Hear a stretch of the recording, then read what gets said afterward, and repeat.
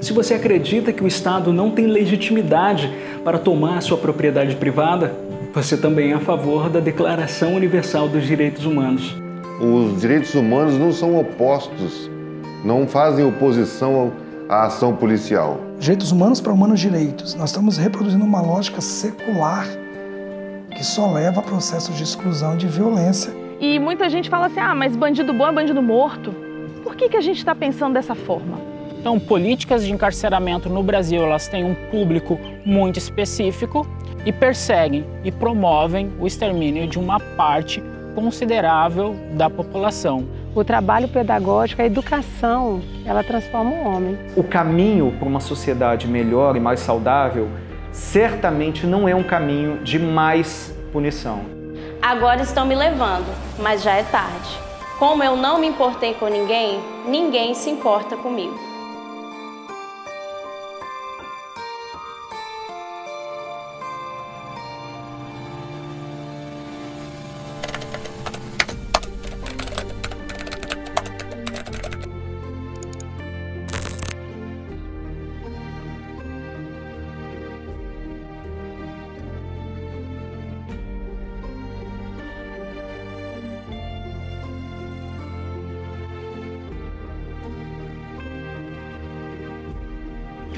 Entender os temas dos direitos humanos ou os múltiplos temas ao redor, vamos dizer, desse grande guarda-chuva, é um desafio. É um desafio que nós temos hoje na contemporaneidade. Porque há uma, uma tentativa, principalmente no Brasil, de desvirtuar e eu acredito de modo muito consciente, o conceito e o entendimento de direitos humanos. Quando a gente fala de direitos humanos, a gente precisa pensar, voltar na história um pouquinho e pensar lá no século XIV, no século XV, com a ascensão do humanismo. O que, foi o humanismo? Foi uma vertente filosófica, artística, estética que surgiu na Itália e que mudou o nosso jeito de pensar o ser humano. Antes, na Idade Média, você tinha Deus acima de tudo e os seres humanos vivendo em função da deidade. Agora, com o humanismo, as pessoas começam a pensar mais em si mesmas. E aí a gente tem o advento do iluminismo na França, que vai influenciar toda a Europa também. E esse, esse humanismo ele vai mudar muito o jeito de pensar, até mesmo as questões jurídicas. E aí a gente pode pensar lá na Carta Magna na Inglaterra e como a Carta Magna vai ser um divisor de águas para quando a gente pensa em direitos humanos. Bom, a partir do momento que a Carta Magna é criada, nova, um novo jeito de pensar o ser humano começa a se alicerçar na Europa. Se a gente fizer um recorte histórico, a ideia de que as pessoas são portadoras de direitos, independentes da sua condição econômica e do seu lugar de nascimento dentro de uma sociedade vai remontar ao século XVIII, com a Revolução Francesa, aonde, com a desconstrução da, do terceiro estado, passa-se a ter um entendimento, uma um conceito alemão que diz um espírito da época de considerar todos como todas as pessoas como dotadas de valor, de importância. Então você nasce, portanto, com direitos: direito a ser, direito a viver, direito a ser digno de existência. No século XX, a gente tem um marco nos direitos humanos que vai ser lá em 1948, que é pós-Segunda Guerra Mundial, com a criação da ONU. O que a ONU vai criar? Ela vai criar uma Declaração Universal de Direitos Humanos e essa Declaração Universal, ela vai colocar agora o homem como centro da legislação. Ou seja, um indicador para os países de que os governos não podem mais ser ditatoriais, que os governos não podem passar por cima do ser humano, né? E você pode pensar assim, ah, mas e no Brasil? Quando que isso começa? Essa é uma pergunta bastante complexa, ela não é fácil de ser respondida e nós podemos começar a respondê-la, quem sabe, é, tendo como princípio as obras de José Murilo de Carvalho, particularmente uma obra chamada Cidadania, um Longo Caminho. É uma obra na qual ele vai demonstrar como, historicamente, a ideia de cidadania é, foi bastante, digamos, é, comprometida uh, no Brasil. E o que isso significa dizer? É, rapidamente, uma perspectiva histórica. Em 1824, é, logo depois da nossa independência, houve a preocupação em se formar o Estado Nacional Brasileiro, né, em se inscrever uma, uma Constituição para nos dar autonomia. Entretanto, a constituição desse Estado foi feita de maneira uh, autoritária e centralista. Afinal de contas, a nossa primeira Constituição ela tinha os três poderes, executivo, legislativo e o judiciário, porém mais um quarto poder, que era o poder moderador, que considerava a pessoa do imperador sagrada e inviolável. É, nesse sentido, nós percebemos que existem pessoas mais iguais do que as outras perante as leis. Né? É, e já nessa Constituição de 1824, ela permitiu, né, ela atribuía o direito ao voto para determinadas pessoas. À época, os chamados homens bons, né, pessoas livres que tinham uma determinada renda mensal. Entretanto, nós convivíamos com a escravidão. Então, apesar de nós termos conquistado os direitos, os direitos políticos, nós ainda não tínhamos direitos civis. É, avançando ao longo do século XIX, é importante destacar que a a abolição da escravidão ela é um fator decisivo para a proclamação da República, né? Porque afinal de contas, grande parte da elite agroexportadora, da elite cafeira, que era monarquista até o 13 de maio, é, a casaca, como se dizia à época, e passam a ser os republicanos de última hora. E a proclamação da República, feita pelos militares, ela traz uh, não somente os direitos civis, porque afinal de contas acabou a escravidão, mas ela também consagra os direitos políticos, mas o voto é aberto. Né, o chamado voto de cabresto, né, é, ou então práticas é, de fraudes eleitorais como o voto a bico de pena. Entretanto, ao longo de 40 anos da Primeira República, é, essa Constituição, a de 1891, não atribuía ao Estado deveres junto da sociedade. Ou seja, a, os direitos civis eles chegam tardiamente no Brasil, somente em 1891, junto com os direitos políticos, que convenhamos são mal arranjados, porque afinal de contas existe o voto aberto, e por sua vez os direitos sociais, eles não existem, né? Porque afinal de contas não existem atribuições ao Estado, tal como saúde, educação, segurança pública e transporte, enfim, coisas que vale a pena dizer, na Europa já eram muito bem consolidadas nos 1900. Vai ser no século XX que a ideia de direitos humanos começa a ganhar força principalmente nos momentos, e não são poucos, aonde o Estado brasileiro torna-se um violador dessa dignidade humana e da vida decente.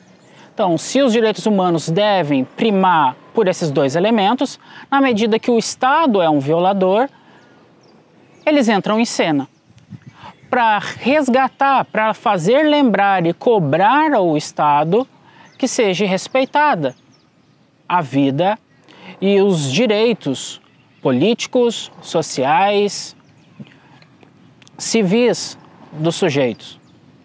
Então, você vai ter em, no Estado Novo, com Vargas, uma ainda muito incipiente, mas uma luta, não nomeada como de direitos humanos, mas uma luta das pessoas pelo voto, uma luta das pessoas pela, pela uma vida decente, por trabalho, por direitos trabalhistas. Pois bem, mas a ideia que nós temos agora no Brasil de direitos humanos, ela vai ser muito característica da luta contra a ditadura militar e não só contra algo, mas a favor a favor da vida, a favor da liberdade política, da liberdade de expressão, dos sujeitos poderem se organizar da forma como entendem melhor.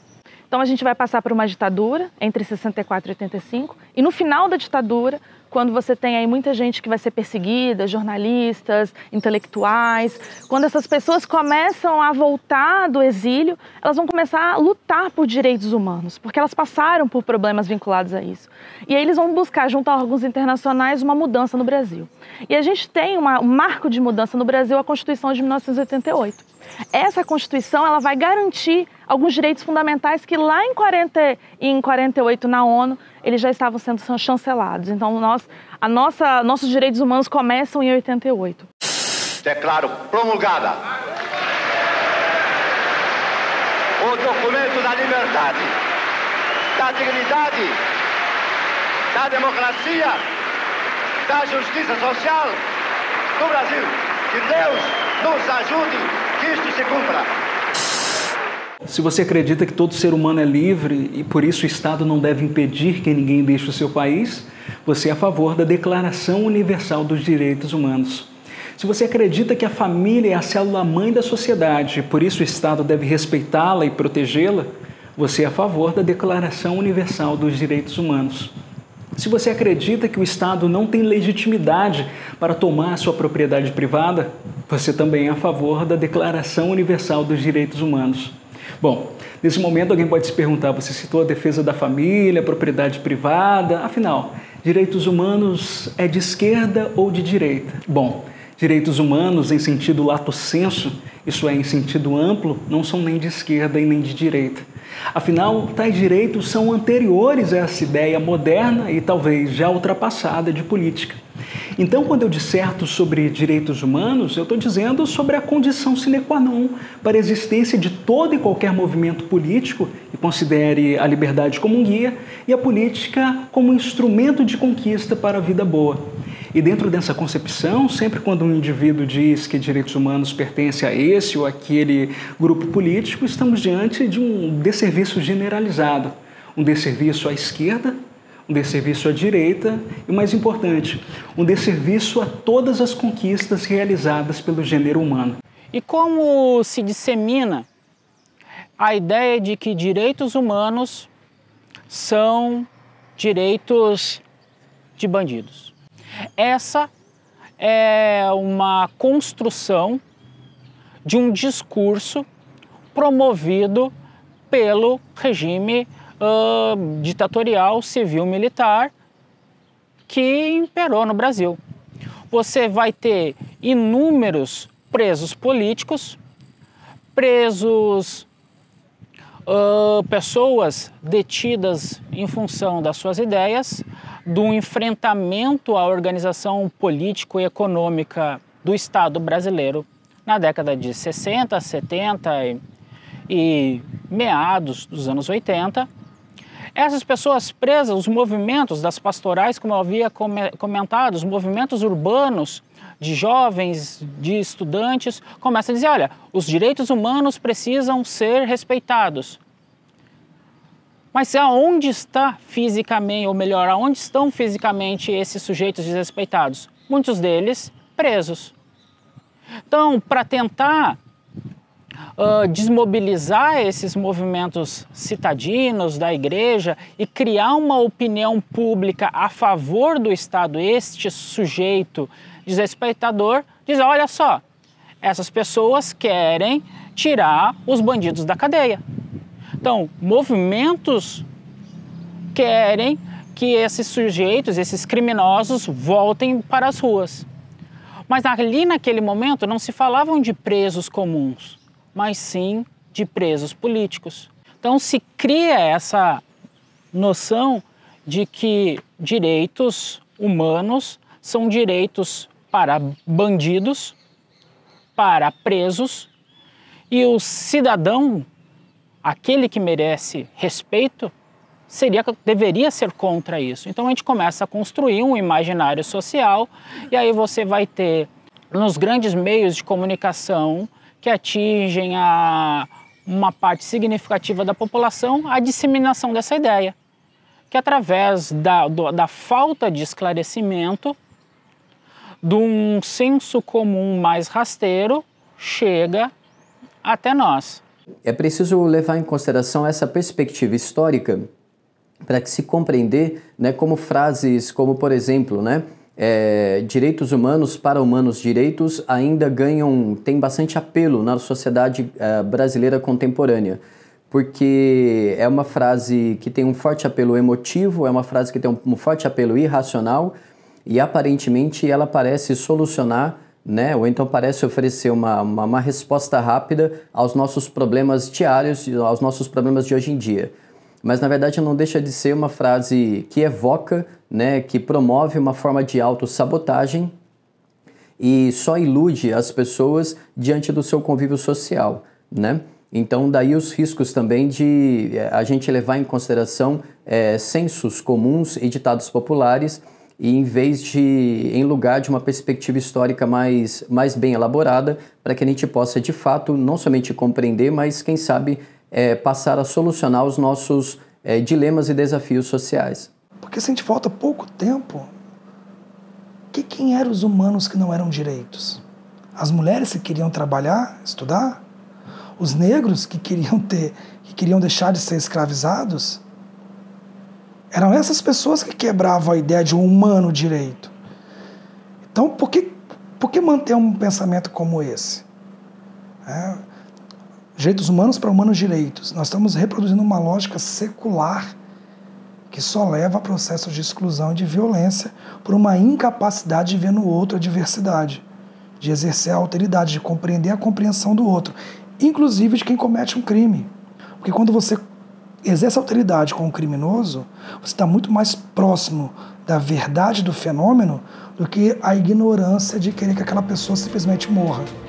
Damiens fora condenado em 2 de março de 1757. Sobre um palanque, o condenado sofreu perfurações dos mamilos, braços, coxas e pernas. Dentro dessas perfurações, aplicaram-lhe conjuntamente chumbo derretido, óleo fervente, piche em fogo, cera e enxofre derretidos. Em seguida, tentaram desmembrar seu corpo com quatro cavalos. Os cavalos deram uma arrancada, cada um deles puxando um membro. Depois de várias tentativas sem sucesso, os carrascos foram obrigados a juntar mais dois cavalos, frente aos que estavam atrelados às coxas. E, como se isso não bastasse, foi necessário, para desmembrar as coxas do infeliz, cortar-lhe os nervos e retalhar-lhe as juntas.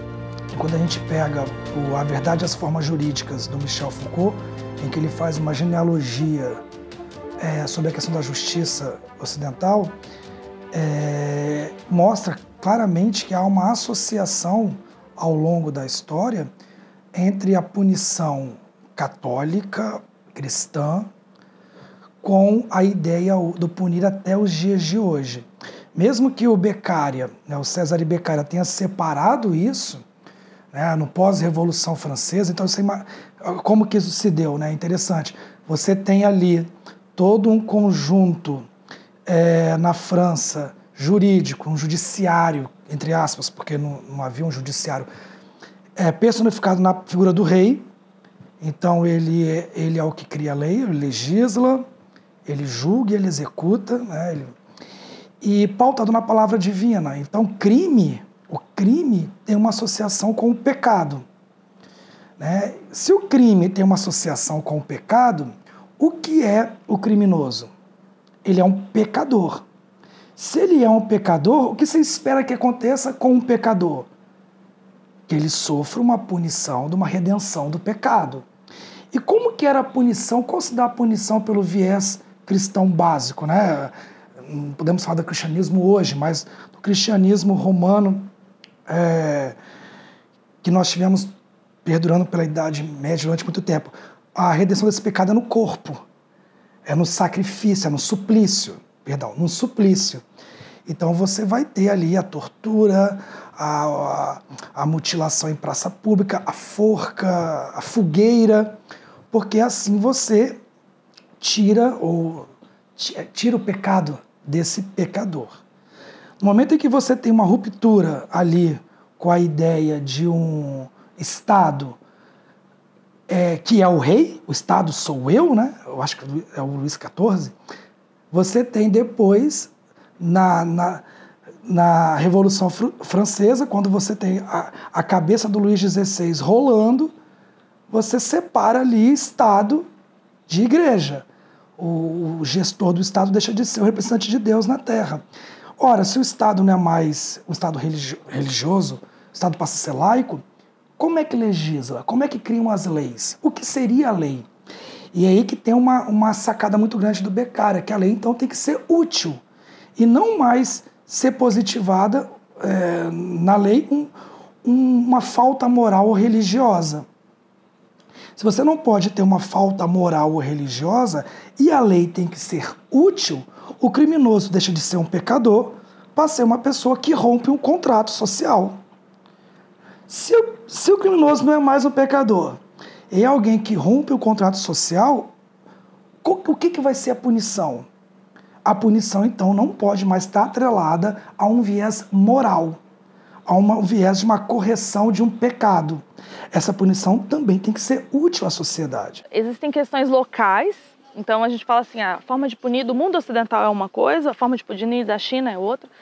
A nossa construção histórica é uma construção de racionalidade, então a gente começa a pensar de uma maneira racional. Não vale a pena matar, não vale a pena esquartejar, cortar os punhos, porque você gera um trauma social, você gera um problema social. É, muitas vezes a gente observa que são sistemas que são muito falhos, então punições extremamente severas podem causar, gerar revolta popular por conta das injustiças que se cometem por conta disso. Então, se pensa na proteção, bom, vamos prender a pessoa, porque tirar o direito de ir e vir, muitas vezes é uma punição muito pior do que você botar um indivíduo numa cadeira elétrica. Então, se fazendo essa reflexão, se, é, os ordenamentos jurídicos caminham na sociedade ocidental por uma mudança de viés, né? Então, assim, isso Brasil, Estados Unidos, Europa. A parte oriental a gente já tem outra, outra, outra, outra visão, né? Mas basicamente isso, existe uma mudança filosófica que acompanha a sociedade e os direitos humanos surgem exatamente isso, para preservar principalmente quem não cometeu. E às vezes você é difícil você conseguir é, observar isso, né? E conseguir ser 100% perfeito em termos de julgamento. Um professor de história foi confundido com um ladrão de um bar e espancado na zona sul de São Paulo. Ele só se livrou do linchamento porque deu uma aula sobre Revolução Francesa, quando pediram que ele provasse ser professor. Foi enterrada hoje a dona de casa que morreu depois de ser linchada por moradores de uma comunidade de Guarujá, no litoral de São Paulo. Fabiane Maria de Jesus foi vítima de um enorme erro. Um grupo com cerca de 20 pessoas se aproxima de um homem. Ele é cercado. O alvo das agressões foi Gumercindo Antônio Teodoro, de 66 anos. Ele teria sido confundido com um morador de rua, suspeito de ter abusado de uma criança. Um mal-entendido levou à morte de um homem inocente em Linhares. Segundo a polícia, Jefferson Bento foi confundido com um suposto estuprador e agredido a pauladas na madrugada deste domingo. Por enquanto, não existe nenhum indício que tenha participado de algum crime. É, não, ele não tem passagem nenhuma pela polícia. É, nós tivemos outro caso semelhante também no bairro Santa Cruz, onde me, pelo que eu me lembro, oito ou nove rapazes, entre adolescentes e adultos, também assassinaram uma pessoa porque achava que ele era um, um estuprador. É um outro caso semelhante a esse. E que, na verdade, não era também, mas foi confundido e foi assassinado. Todos esses sujeitos foram identificados e encaminhados à justiça para serem julgados. Mas é uma questão cultural aqui do, do, do Brasil e mais ainda aqui no norte do estado, porque aqui a, a cultura da violência é muito arraigada no, no, no coração das pessoas. Eu penso que quando a gente vê o cara gritando bandido bom, bandido morto, ele está retroalimentando um sentimento de vingança que nos foi criado e, e, é passado geração a geração há séculos atrás, quando se acreditava que ao punir fisicamente a pessoa, estava expurgando, ou livrando o pecado daquele corpo e da terra. Então era um, era um ato de beleza você queimar alguém vivo. Era um ato, de, era um ato divino você esquartejar as pessoas. E o ato de, de linchar uma pessoa na rua é uma atualização disso. Ainda com direito a um monte de celulares filmando, com pessoas tendo prazer e e eu gozando de prazer vendo alguém sendo surrado em, em meio da rua. Ah, qual é a diferença disso de alguém ser esquartejado? Qual é a diferença disso de queimar as mulheres na, na fogueira? Eu não vejo nenhuma. Né? Guardado as proporções, eu não vejo nenhuma. Homem inocente é linchado ao ser confundido com o irmão que teria agredido mulher. Pedreiro é confundido com estuprador e morre após ser espancado na rua. Fake news no WhatsApp levaram um povoado a linchar e queimar dois homens inocentes. Quando falamos em linchamento, pelo menos duas coisas ficam em evidência. A primeira é uma falta de distinção semântica entre os termos justiça e vingança, e nesse sentido, se conceitualmente a justiça é cega, a vingança é ignorante, uma vez que ela ignora a racionalidade e por isso tenta resolver os conflitos pela violência. A segunda, podemos dizer, que é uma característica moralista, na qual, por meio do linchamento, o linchador passa por uma afirmação moral. Ele passa a se reconhecer como o aplicador da justiça, isso é, o justiceiro. Agora, uma coisa devemos nos perguntar: será que esses sujeitos têm legitimidade para utilizar de violência e de força em relação ao terceiro? Bom, a menos que estejamos falando de um estado de natureza, isso é, do modelo robesiano de guerra de todos contra todos, a resposta é não. Não porque, quando analisamos o Estado moderno, e isso o Max Weber vai utilizar muito bem na sua obra Ciência e Política, Duas Vocações, pertence ao Estado moderno o monopólio do uso legítimo da força. E dentro dessa concepção, toda violência, toda força utilizada sem autorização do Estado é ilegítima e por isso intolerável. Vale ressaltar que, dentro de uma democracia constitucional, como é o nosso caso, nem mesmo esse Estado pode utilizar dessa força de forma indiscriminada, à lá vão ter. Para que essa violência, essa força seja legítima, é necessário proporcionalidade, ampla defesa, um rito formal. E você pode pensar comigo, se mesmo com todos esses trâmites, o Estado, não são raras as vezes que ele age com injustiça, que ele erra em seu julgamento, Imagina então o julgamento apaixonado de pessoas sedentas por um bode expiatório para extravasar todo o seu rancor, a sua vingança, a sua violência, a sua sensação de insegurança. E nesse ponto eu vejo que a filosofia política do John Locke, um filósofo inglês do século XVII, vem muito a calhar, porque ele dirá: não é razoável que os homens sejam juízes em causa própria, pois a autoestima os tornará parciais em relação a si e os seus amigos e por outro lado, a má natureza, a vingança, as paixões possam te levar longe demais ao julgar os outros. A sede por vingança é natural do ser humano. A gente, tá, a gente é um, um seres humanos civilizados há 6 mil anos. Então, toda a história humana, a nossa a vingança é feita pelas próprias mãos. Então, o direito penal ele não existe. O que existe é eu me vingando de alguém que, come, que fez alguma coisa contra mim.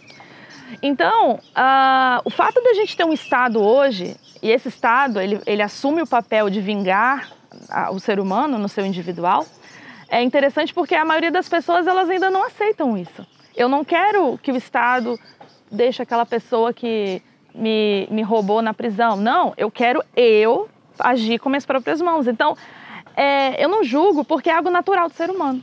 Porque é, é, a maior parte da nossa história a gente trabalhou dessa forma. Nós nos vingando daquilo que da pessoa que fez mal pra gente. Bom, então, uh, por outro lado, a gente tem o seguinte: num, num, estado como o Brasil, no governo brasileiro, em que a gente sente a impunidade, isso é real, não é algo que eu estou falando aqui como uma a pregadora dos direitos humanos, a gente sente realmente o problema da impunidade o, o cidadão, ele está falando assim, eu não me sinto representado por esse Estado, isso que é perigoso, porque aí não só na questão penal, né? Eu, como eu não me sinto representado, eu também não vou pagar meus impostos, eu também não vou me interessar por aquilo que é da coletividade. Então, esse sentimento associado à necessidade histórica de, do ser humano de se vingar com as suas próprias mãos, gera o que a gente tem hoje, que é esse sentimento de que as pessoas, não, eu vou mesmo me vingar, eu vou matar, do, vou matar aquela pessoa que fez mal para minha família, porque eu sei que o Estado não vai fazer nada. Então você associa essas duas coisas e você cria o cidadão médio brasileiro que pensa realmente né, que não, não me interessa o que a polícia vai fazer, me interessa o que a minha família vai fazer, porque minha família, nós temos armas e nós vamos correr atrás disso. Os direitos humanos não são opostos, não fazem oposição à ação policial. Os direitos humanos fazem oposição a uma atuação da polícia, aos exageros que a polícia possa cometer. Então, é, os direitos humanos e a ação policial elas andam juntas. É, quando existe uma, um desvio de conduta, quando existe um desvio de, de, de, comportamento, é que os direitos humanos se opõem à ação policial, mas por conta da ação policial ser ilegítima, ser uma ação policial que não vai de encontro com a lei. A pessoa que chega e fala bandido bom é bandido morto e aplaude o policial batendo em alguém, essa própria ação está retroalimentando um sistema de, de, de, de, uma, de, uma, de uma guerra, de, que, né, de uma divisão de classes que é muito que é pernicioso para os dois lados, porque aí você vai ter o jovem de periferia negro morrendo, morrendo por, por, por briga de né, questão de tráfico e tal, o policial, que também é uma pessoa que também está numa condição é, de extrema vulnerabilidade, é, tanto para a questão salarial quanto para a questão do próprio exercício da função, do treinamento, do militarismo. E, é, e são essas pessoas que estão ali na linha de fogo, se matando, enquanto o cidadão de bem, o famoso cidadão de bem, ele perde um telefone num assalto e baba pelo desejo da morte daquele que roubou o celular, achando que isso vai melhorar a sociedade.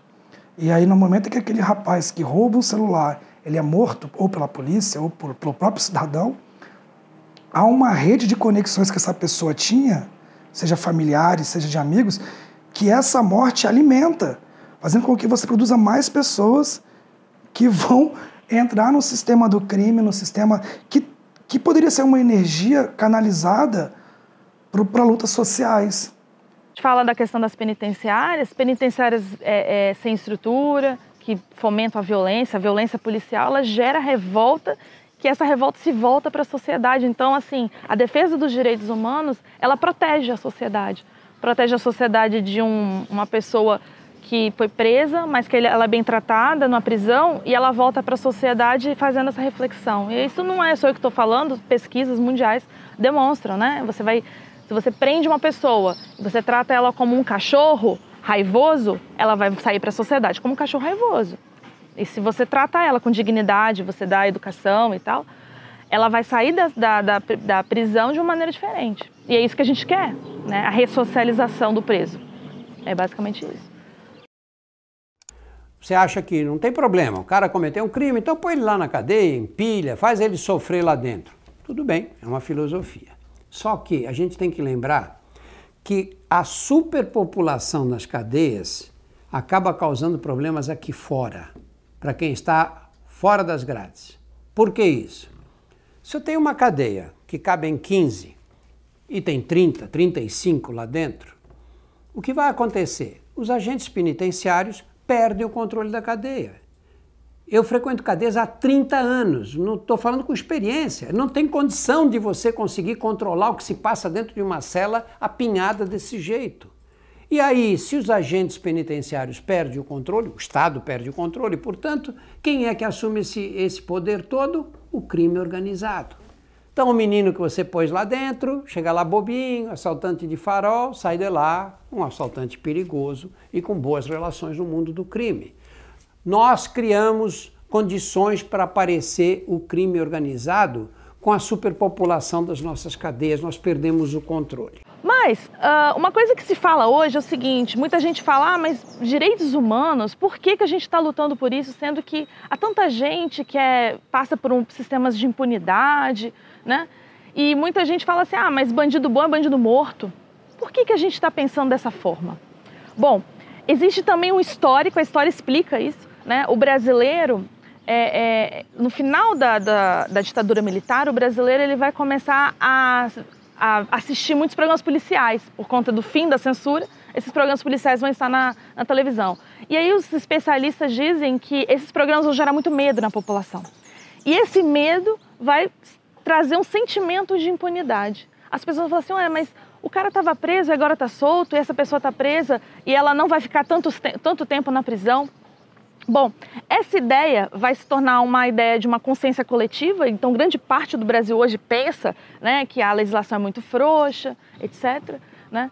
E a gente acaba é, é, desacreditando dos direitos humanos. Deixa eu conversar com o preso primeiro aqui.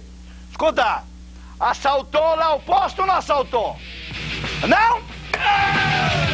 Ê, rock, é assim que vai.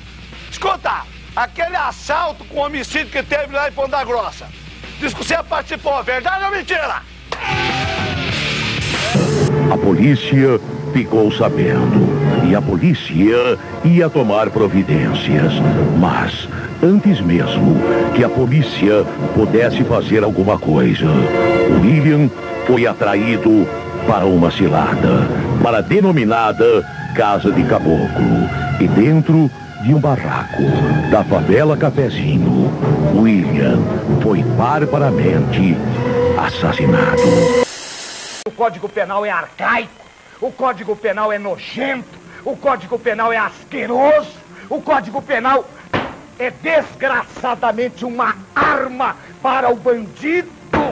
Ah, e dentro da Constituição brasileira, lá dentro da Constituição brasileira, diz o seguinte: que o bandido tem mais direito do que as nossas famílias.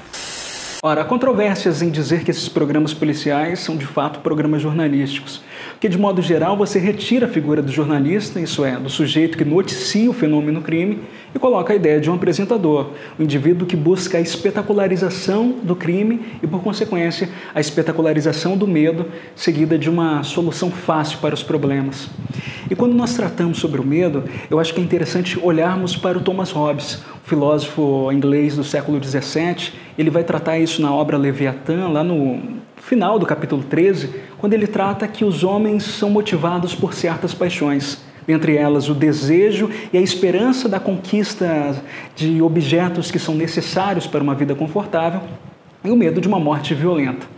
E dentro dessa perspectiva robesiana e também utilizando como análise os programas policiais, o medo deixa de ser apenas uma paixão e passa a ser um importante instrumento de capitalização do poder político, isso é, de arrecadação de votos. E isso se torna muito real na medida que você analisa o grande potencial eleitoral e político que os indivíduos apresentadores de programas policiais têm no Brasil. Eu vejo que uma representação disso foi feita muito bem pelo diretor José Padilha no filme Tropa de Elite, quando ele utiliza a personagem do deputado Fortunato para apresentar esse tema. Não me venha com essa de direitos humanos, porque terrorista para mim não é gente! Não, porque né? Direitos humanos. Não pode encostar no vagabundo. Qual vagabundo? Qual vagabundo? Dá um saco de bombom pro vagabundo. Manda rosa pro vagabundo. Isso é palhaçada, rapaz. Aqui, fecha em mim. Fecha em mim, imperador. Governador.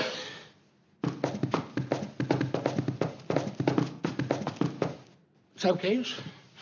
Isso é a dancinha é o que vai acontecer com o seu governo. O seu governo vai dançar se o senhor não reagir.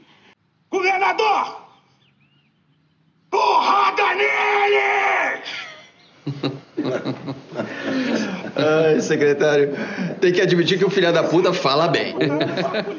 Eu também acho. O uso exclusivo da punição, ele traz sérios problemas. Primeiro problema, qualquer pessoa que seja submetida a uma punição, vai ter em si disparadas respostas emocionais muito desagradáveis, respostas aversivas. Né? É, basta você pensar que qualquer pessoa que passe por algum sofrimento, né, que seja infligido por outras pessoas, não tem como essa pessoa é, descrever para você que esteja tendo pensamentos e sentimentos agradáveis. Né? São disparados sentimentos do tipo raiva, medo, revolta, né? Então, o uso exclusivo de punição produz esses efeitos emocionais muito ruins. E se nós estamos pensando em termos de sociedade, você punir é, sabendo que está disparando emoções negativas numa pessoa pode ser uma coisa bem complicada. Um segundo problema da punição é que, embora ela seja imediatamente eficaz, ela é ineficaz no sentido de uh, ensinar o comportamento correto ou o comportamento socialmente mais adequado. Ah, mas qual seria uma alternativa? Quem sou eu para dizer qual seria a alternativa?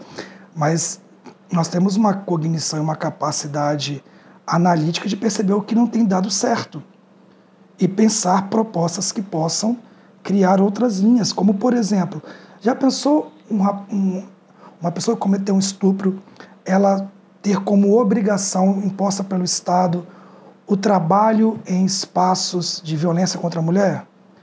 É, e aí pode ser de inúmeras formas. Né?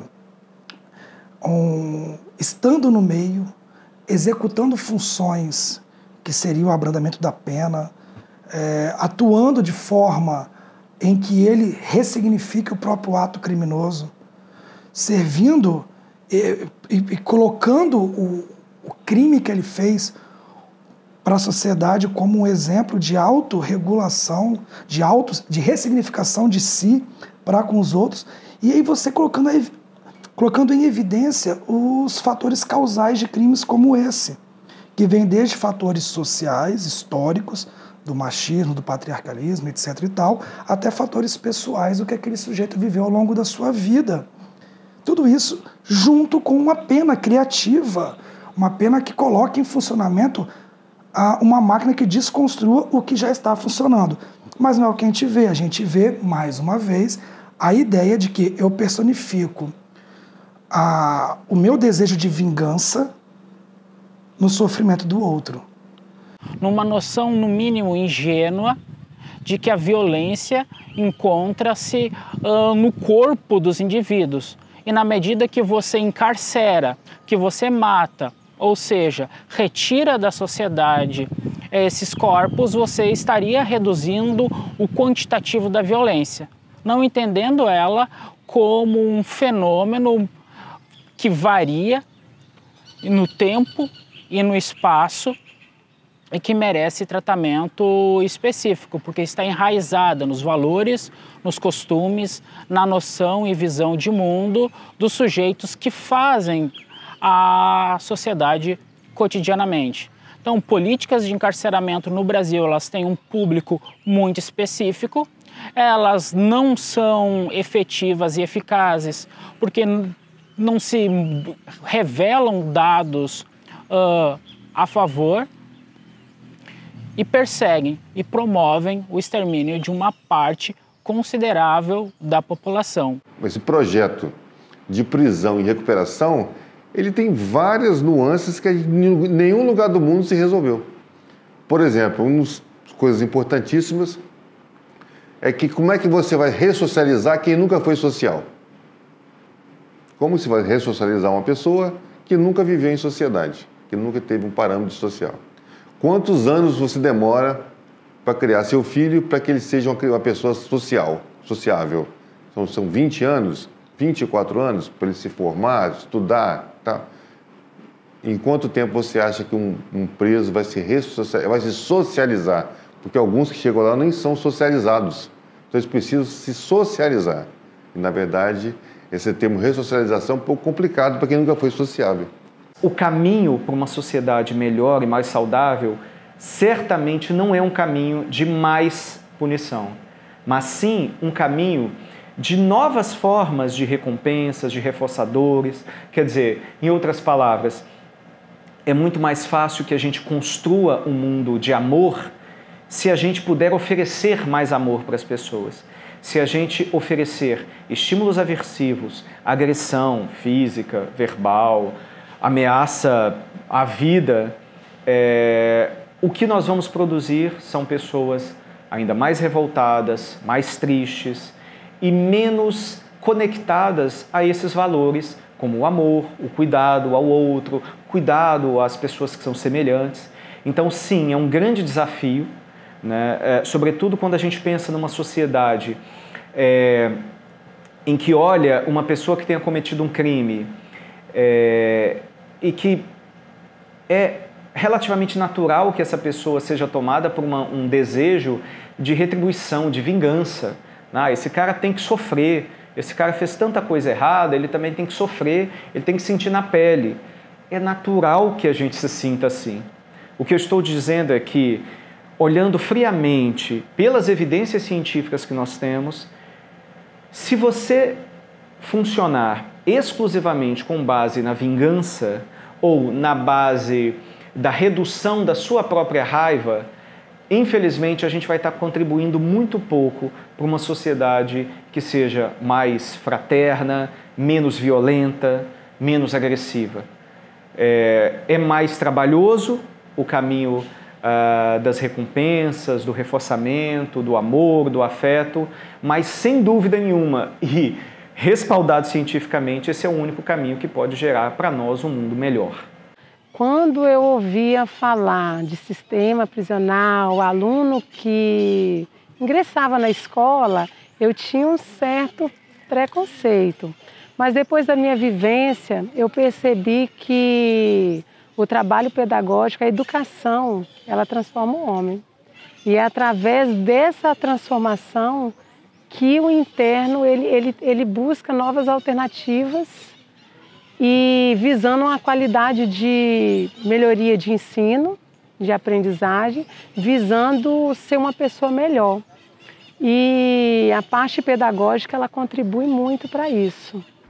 É, a gente precisa de novidades no sistema carcerário. Mas para quem já, já tem tempo já na polícia, tem tempo de história na Polícia Civil, sabe que da década de 90 e dos anos 2000 para cá, houve uma evolução estratosférica do sistema carcerário.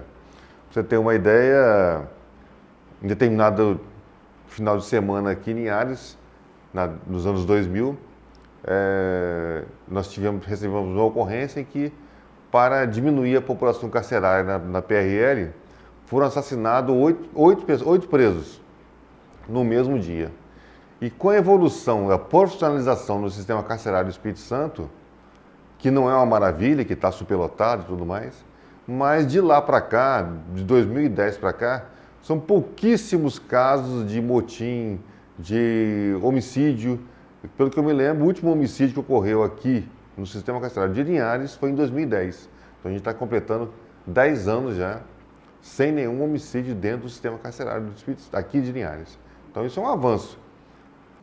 Se você vira e mostra que uma instituição X ou Y executou diversas tarefas e conseguiu reduzir a taxa de reincidência, as pessoas simplesmente ignoram. Ou não só as pessoas, né, mas a gente vê também a mídia ignorar. Ah, quantas vezes a gente vê na televisão o debate sobre uma cadeia, sobre uma penitenciária, sobre uma instituição de adolescente que tem ótimos resultados? Você não vê. Ah, nós temos alguns prêmios estaduais que trazem isso. Linhares já foi, a PRL eh, ganhou duas, duas vezes seguidas. E eu tive a possibilidade de ir lá conhecer o projeto. É, e é interessante os presos andando de cabeça erguida, conversando as pessoas pelo nome. E, e o que eu, é, na, na, nos bate-papos, na, na, entrevista que eu fiz lá no, na conversa, isso demorou muito tempo até chegar nesse momento. Foi uma luta muito árdua para a mudança de, de, da forma de analisar o que é a punição. E quando você consegue tirar esse viés de vingança e esse viés de, de, de, sofrer, de desejo do sofrimento do outro, da punição, você consegue olhar para o preso e falar assim, pô, como é que eu posso fazer para esse, junto com esse cara, para convidar ele a refletir sobre a própria vida e sobre a sociedade? Eles têm um respeito imenso pelo, por nós, profissionais da educação. Nós somos chamados de mestre lá dentro. Os alunos chamam, têm um respeito. É, falou que é o professor, senhora, senhor. Então, assim, você olha para aquele indivíduo, para aquele cidadão e vê que, por, por maior que seja o crime que ele cometeu, é, de, todos, de todos os profissionais que tem dentro da unidade, a gente percebe do próprio indivíduo que a educação é a, é a melhor parte para eles, é onde a gente tem um respeito, um respeito maior deles é da parte da educação. Quando eles saem, eles saem ainda se despedem. Ah, pedagoga, muito obrigado. Se não fosse o papel pedagógico, se não fosse os professores, ter contribuído para que nós é, nos tornasse pessoas melhores, hoje não, não sairíamos daqui da forma que nós vamos sair hoje. Então, assim, a educação é fundamental dentro do sistema prisional. Ela transforma. Lembrando a filósofa Hannah Arendt, que ela escreve uma obra chamada Condição Humana, que segundo ela, o que é direitos humanos? Eu podendo resumir toda essa, essa análise histórica. O direito a ter direito, ou seja, direito humano não é direito, direito humano é a base. Direito humano é você valorizar o ser humano acima de tudo. Você pode ter direito penal, civil, qualquer outro direito. Mas a base de todo esse ordenamento jurídico que é fundamental é o direito à vida, direito à liberdade, direito à igualdade, ir e vir, que são bases hoje da nossa Constituição que não podem mais ser negociadas. Primeiro levaram os negros, mas eu não me importei, afinal, eu não era negro. Em seguida, levaram alguns operários, mas eu não me importei com isso, afinal, eu não era um operário. Depois prenderam alguns miseráveis, mas como eu não sou miserável, também não me importei com isso. Depois agarraram alguns desempregados, mas como tenho meu emprego, também não me importei.